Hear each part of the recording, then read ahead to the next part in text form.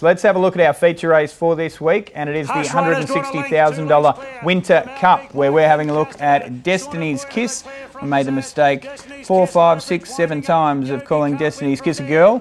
He was a fantastic horse. He was a ripper. Yeah, I love looking This back on these, race. on these horses because they quickly get forgotten, don't they? He was no superstar, but he had a heart that was bigger than him. There was nothing of him, yet here he was carrying 60 kilos, 61 kilos, and he showed some desire. I'm still not convinced he actually got that photo, but there you go, it's in the record book. No, as we have a look at the market this year, some of the other winners of the Winter Cup, they fall into the same basket, like really tough and and you know, Niwat's in there, Legsman's in there, uh, Ruben Percival, Kapoor, uh, Toucan Chu, Gallic Chieftain, Wu Wugok, Knight's Order. Knight's Order's one that's really gone on with it. Yes, the rest maybe had their convictions. their level, but yeah. Knight's Order, definitely. Uh, Allaby at $3.70 favourite.